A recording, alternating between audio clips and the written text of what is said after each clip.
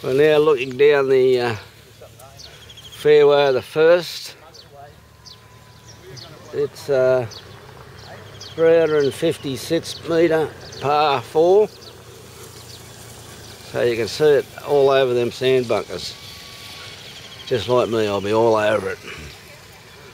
And if you've got $450,000 you're not doing nothing with US, you can buy one of those condos up the back there.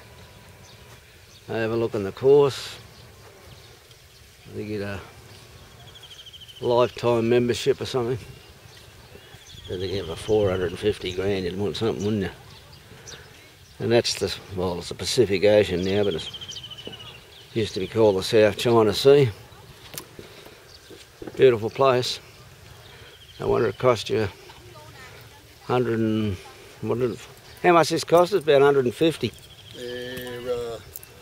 They're, yeah, about 150. About 150. Anyway, this is Apples, the worst golfer in the history of, Of world. of the game. Yeah. Put that on you. This is Winston. Hello, um, um, Alan. Yeah. I won't comment on his golfing prowess. Well, I'll take my hat off. Is that better? Get a good look at me. Man, and this is A DJ, Crabapple, very handsome man.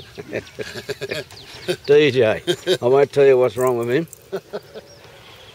But it has something to do with crustaceans. anyway. Bye.